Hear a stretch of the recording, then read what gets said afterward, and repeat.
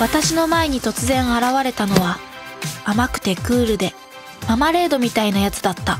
私たちシェアハウス借りて6人で一緒に住もうと思ってるの。両親がまさかのパートナーチェンジで再婚。なぜか同い年の優と一緒に暮らすことに。ゆうくんちょっとミステリアスで魅力的じゃない？好きになっちゃダメよ。お前らの両親ぶっ飛んでんな。何かあったら言えよ。美味しい。だろ。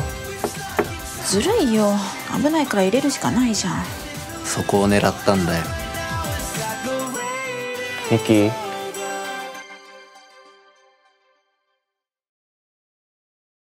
恋しちゃってるんだね。どうして私にキスしたの？ミキごめん。特別な感情がなくなった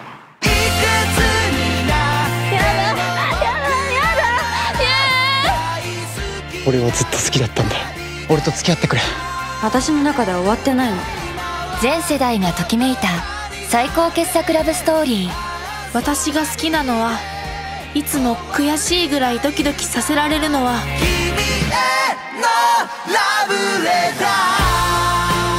ママレードボーイ